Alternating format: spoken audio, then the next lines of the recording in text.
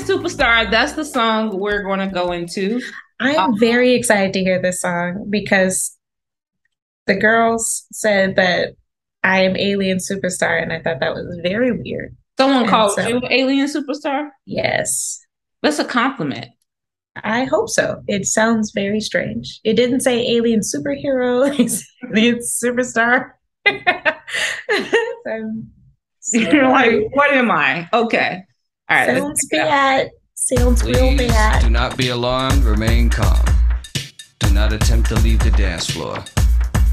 The DJ booth is conducting a tr- tr- troubleshoot test of the entire system.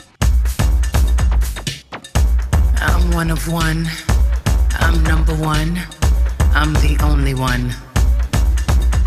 Don't even waste your time trying to compete with me. No one else in this world can think like me. I'm twisted, how contradicted. Keep him addicted. Lies on his lips, I lick it. Unicorn is the uniform you put on. Eyes on you when you perform.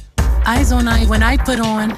Mastermind and haute couture, label horse can't clock, I'm so obscure. Masterpiece genius, drip intravenous. Patty cake on there is Tiffany blue billboards over the ceiling. I'm classy for this world, forever I'm that girl. Feed you diamonds and pearls, oh baby. I'm too classy to be touched. I paid them all in dust. I'm stingy with my love. Ooh. I got pearls beneath my legs, my lips, my hands, my hips. I got diamonds beneath my thighs where his ego will find bliss. Can't find an ocean deep that can compete with a cinnamon kiss. Fire beneath your feet, music when you speak, you're so unique. If that's your man, then why he over here? that's. That is that is the question of the day. No one has answered that for me. If that's your man, then we probably kicking it though. I don't, I don't want to bite man. All right. Mm, hello, also hello, and lastly, hello, because no, thank you. All right, alien superstar. One, let's start off by asking, do you feel okay being an alien superstar now? I think that it was definitely surprising. I did not expect it to be about that. That is, I would have expected the name of this one to be "I'm That Girl." That's I like that. Okay. That, that was that was good. Okay. was, now I know why you said unique earlier. Yeah, yeah. I was like, she's spelling it. Okay, cool, cool, cool, cool, cool. that one was a really, really good one. Like that it's one is so different. It's so different from what you hear on the radio. It's so different That's from what you heard, have heard from her. Um, one hundred percent but it's dope. I can't think of many other artists that can pull that song off. Pull the song off? Uh, let me take it back. I, I think, given the large pool of artists, yes, you are correct by that. But it's also not terribly complex in terms of production.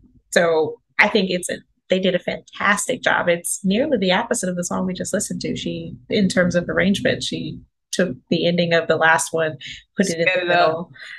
Yeah, like it's, but it worked. It was great. It was just fantastic. And I am very interested in the fact that she has so many goddamn counting melodies. Like, what is that? She's like, this is about to be the whole album. Yeah. I love that. I love that a lot. I wrote down Beyonce is freaky. I mean, it speaks to me, so I'm very happy with it. Like she hit that self-titled album and everything else has just been fantastic. Like that's the Beyonce I've been wanting since the beginning. Some other stuff I wrote down was when mm-hmm. she said, I'm too classy for this world, forever I'm that girl. I just thought that the way she sung that was was so beautiful. Like her mm, Yes. Man.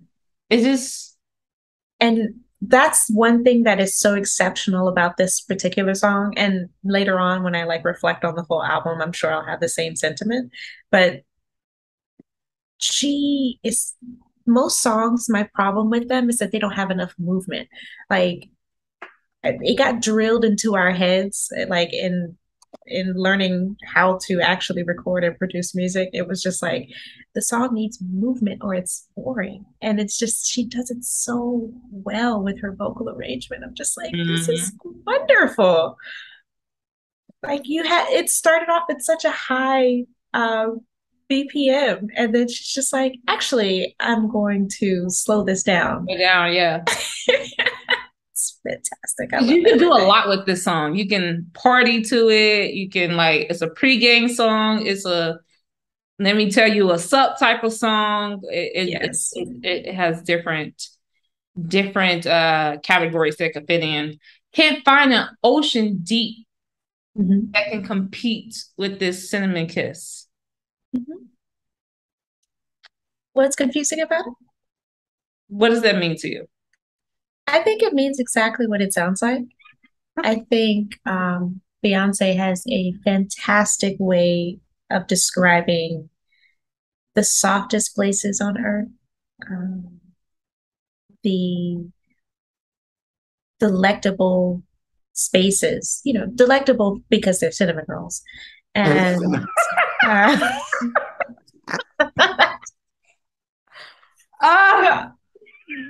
but yeah, I think um, I think what that line means to me is that you know, oceans are deep, um, they flow.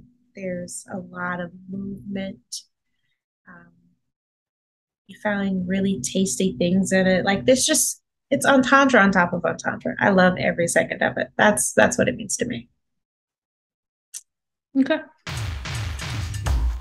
So evil.